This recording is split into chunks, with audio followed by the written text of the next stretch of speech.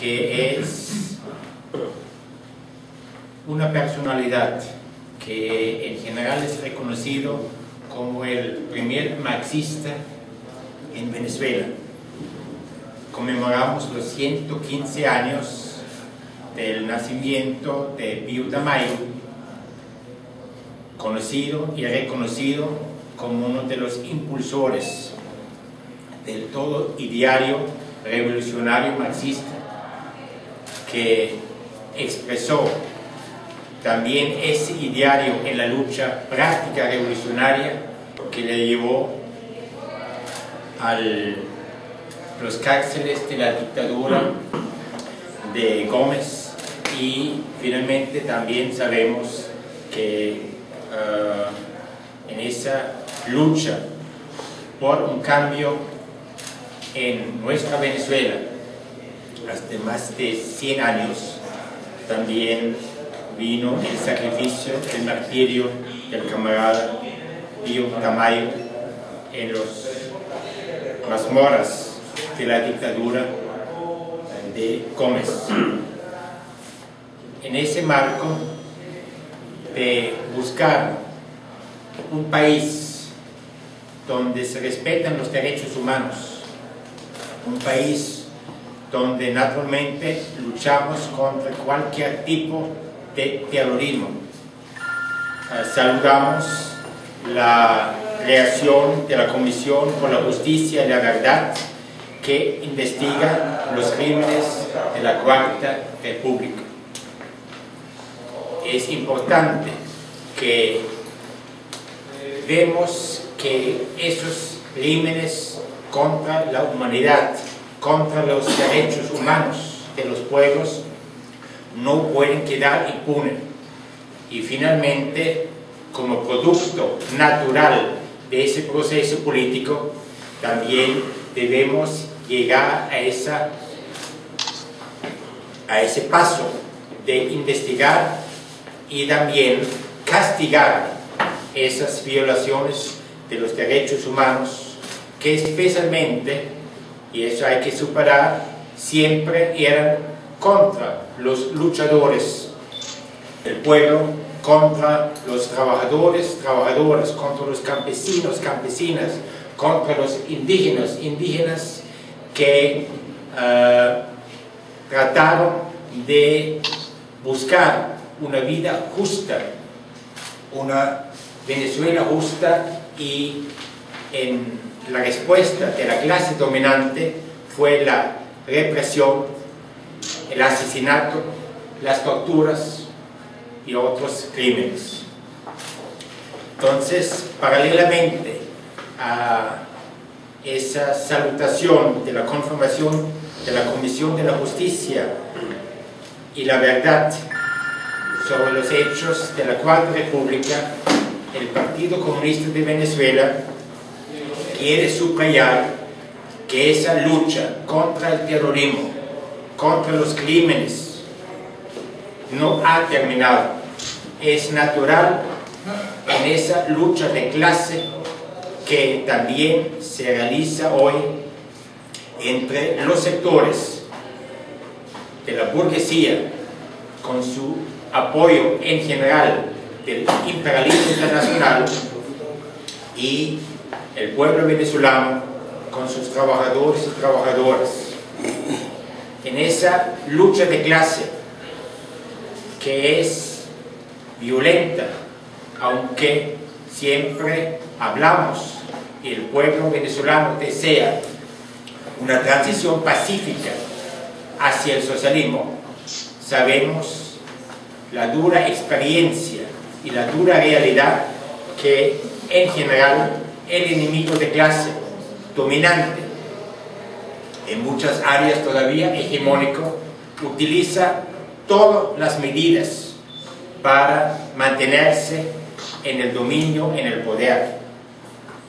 Por eso vivimos hoy y hoy ese lunes, lunes denunciamos hechos que expresan esa lucha y esas utilizaciones criminales por parte de la clase dominante que sigue siendo la burguesía nacional e internacional con sus aliados, por ejemplo, de los terratenientes y latifundistas. Tenemos el ejemplo en el ámbito laboral.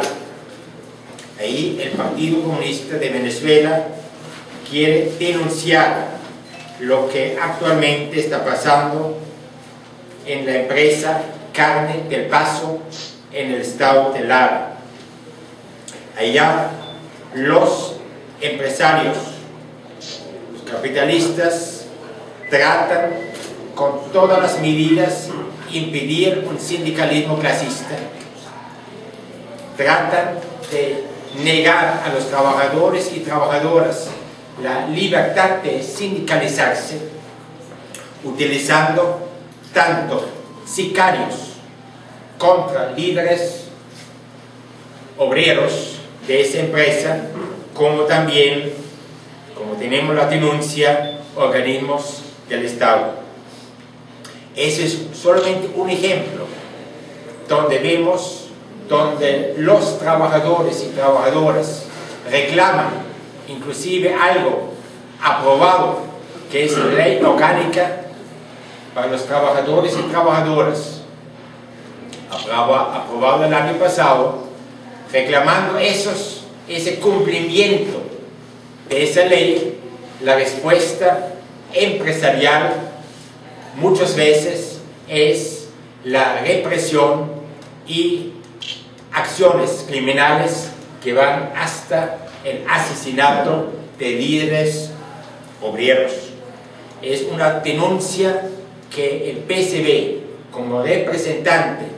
de la clase obrera y del pueblo trabajador, hace continuamente, quiere hacer énfasis. Esa lucha está en marcha, esa lucha no ha terminado, sino esa lucha se va a intensificar en el momento donde los trabajadores y trabajadoras reclaman su justo derecho que se implemente toda la ley orgánica para los trabajadores y trabajadoras. Entonces ahí el Partido Comunista de Venezuela está siempre solidariamente al lado de los trabajadores y trabajadoras, vigilante y denunciante de cualquier caso al respecto. Por otro lado también es importante que los propios trabajadores y trabajadoras se organizan, se movilizan, facilitan la denuncia, respaldan la denuncia para poder actuar en todas las instancias necesarias. Otro horrendo crimen que vivimos es el asesinato y nosotros decimos el asesinato anunciado del cacique Sabino Romero. Asesinato anunciado, ¿por qué? Porque sabemos que durante los últimos años existían amenazas de muertes, existía represión contra el cacique Sabino Romero, pero también contra todo el pueblo yuca. ¿Por qué? Porque ahí también, no solamente en las empresas, en las fábricas, en las compañías, se ve la intensificación de la lucha de clase, sino también en el campo, contra líderes campesinos y campesinas y contra los pueblos indígenas. ¿De qué se trata? Se trata que los pueblos indígenas, que ahora tienen un derecho constitucional y tienen derechos por los nuevos leyes aprobados en la República Bolivariana a sus tierras ancestrales. Esa lucha nuevamente tiene respuesta de los terratenientes y muchas veces acompañados por transnacionales ah, para impedir que los pueblos indígenas recuperen, que tomen posesión legal de sus territorios ancestrales. Hay intereses económicos, capitalistas, que, por ejemplo, se centran en la minería, por ejemplo, se centran en la deforestación y en general en el control territorial y en la explotación de la mano de obra de los pueblos indígenas. Ese crimen contra el cacique Sabino Romero es también una denuncia de la responsabilidad de los organismos del Estado. Debe cumplirse en la República Bolivariana de Venezuela que el derecho a la vida es lo más sagrado y naturalmente quien en primer lugar debe garantizar ese derecho a la vida es el Estado venezolano en sus diferentes entidades. Queremos expresar como Partido Comunista de Venezuela, como defensor de los derechos del pueblo venezolano, nuestra plena solidaridad con la familia del cacique Sabino Romero, con el pueblo indígena de los Yucas y con todos los pueblos indígenas en Venezuela que estamos al lado de sus luchas por sus derechos. Lo que pasa como aparece como noticia a través de un asesinato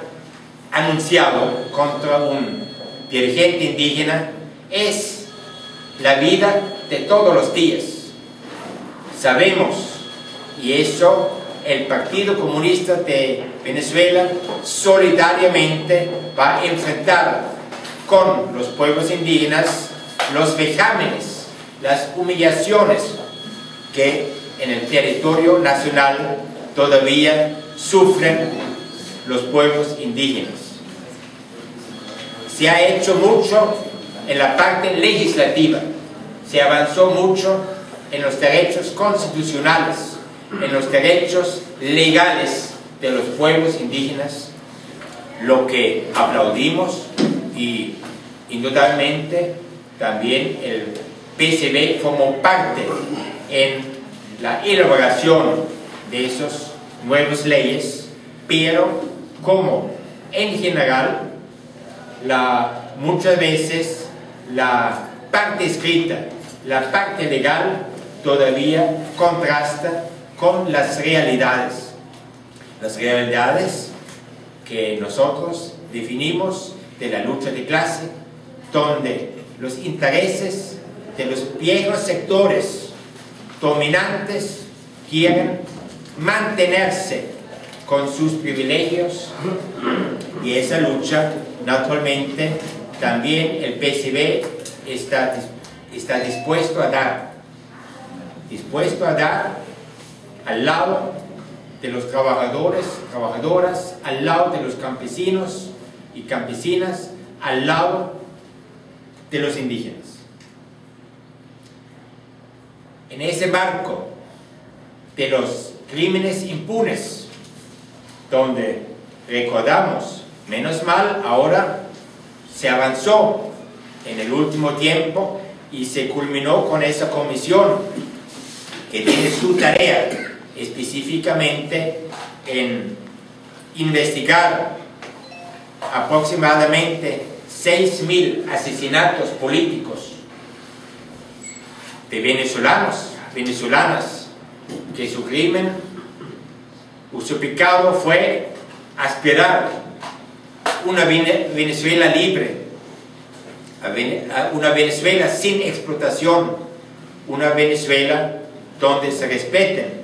todos los derechos y también los derechos humanos, uno de los crímenes impunes todavía fue el del camarada y dirigente sindical Emigroes, ocurrido el 3 de marzo de 1985. Emigroes, miembro del Comité Central del partido, máximo dirigente de la CUTV, fue asesinado el 3 de marzo, hace 28 años. ¿Por qué? No era un asesinato de interés personal, de objetivo personal, sino como el PCB denunció en esa época, hace 28 años, donde naturalmente el acceso a los medios era diferente que hoy, que también valoramos la participación hoy de los medios de comunicación en la rueda de prensa del PCB. ¿No? Hace 28 años el PCB denunció que el asesinato del camarada Era solamente una pequeña parte de una operación de la CIA contra dirigentes de la clase obrera para impedir la unidad clasista de los trabajadores, trabajadoras, para impedir el aumento de las luchas que ya en ese año 1985 eran visibles y finalmente culminaron en el Caracazo del 89 y en las rebeliones militares del 92, pero también ya en el 85 la respuesta de la clase obrera fue visible en defensa de sus derechos y la respuesta del gobierno venezolano de esa época, naturalmente, en complicidad con el imperialismo norteamericano, hizo lo que sabe hacer, asesinar dirigentes del pueblo. Entonces también esperamos que esa comisión y todos que estamos comprometidos para, los, para la defensa de los derechos humanos, también ese crimen impune de emigros será conocido en todos sus detalles y castigados sus responsables que no solamente son los actores directos sino nosotros siempre debemos recordar esos responsables detrás de los crímenes que normalmente están, tenemos que buscar en las altas esferas políticas, económicas, dentro del país y fuera del país. Otro punto importante de la rueda de prensa hoy es lo que vivimos también si salimos a la calle. Hay una lucha política, pero también económica en el país. Esa lucha económica vemos expresado en el acaparamiento de artículos de la primera necesidad. Uno no lo encuentra en los estantes de los mercados, la especulación que durante todos los últimos días fue denunciado, la subida de precio sin justificación, pero también en una denuncia que el Partido Comunista de Venezuela da toda la seriedad es la corrupción en la entrega de divisas. Quiere decir, una, un conjunto de especulaciones por parte de las empresas, por parte de los comercios, combinado con la especulación de los precios, del remarcaje, por ejemplo, y también el, la forma turbia como ocurre la entrega de divisas hoy en día. el Partido Comunista de Venezuela se caracteriza no solamente en denunciar, que es una primera tarea, y donde necesitamos la cooperación de todos los trabajadores y trabajadoras de todo el pueblo venezolano. Eso no es la responsabilidad de un partido, aunque es el partido de la clase obrera, pero el PCB también se caracteriza naturalmente en su forma crítica y propositiva. ¿Qué proponemos nosotros para el estudio urgente y toma de decisiones en ese área de los productos de la primera necesidad que deben estar de libre acceso y a precios económicos justos para todo el pueblo venezolano, nosotros proponemos que se crea un ente de centralización de importaciones. Quiere decir que no individualmente los importadores, justo o no justo, reciben las divisas en una forma directa, personalizada, sino que el Estado venezolano controla ese, esa política de las importaciones y de las divisas. Eso es la propuesta del PCB para que se, se discute ampliamente y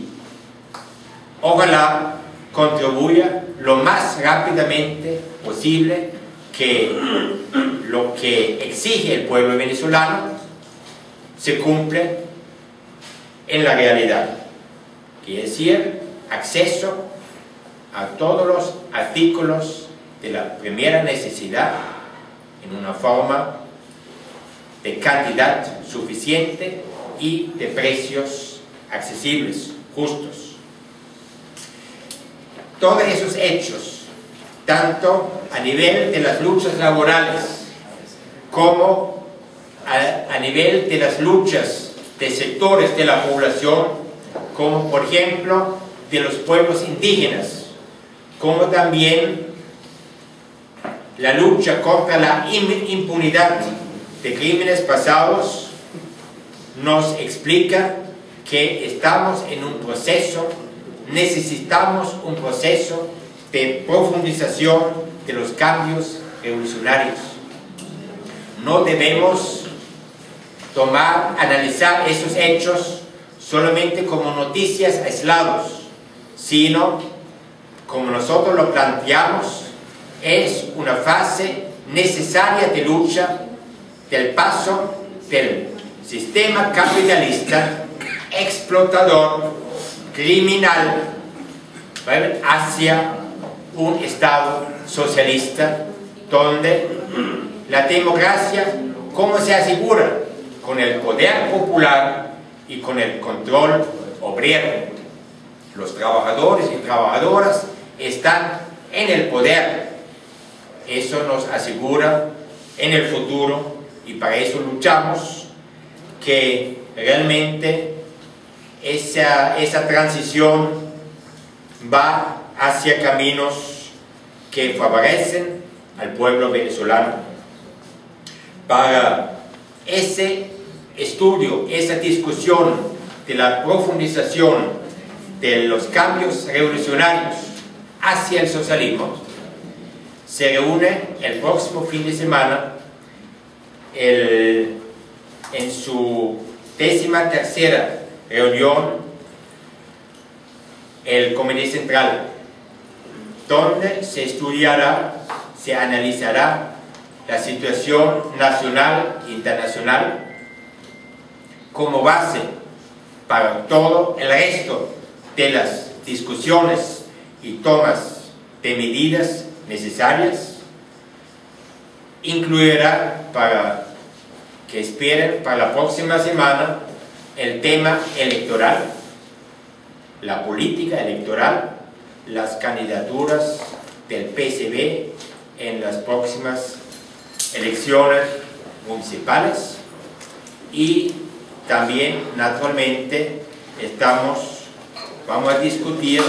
todas las otras medidas necesarias para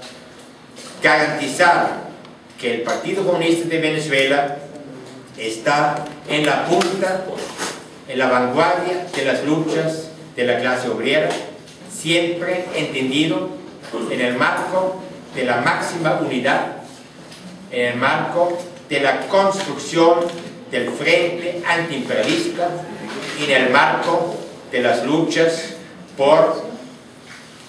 el nuevo Estado,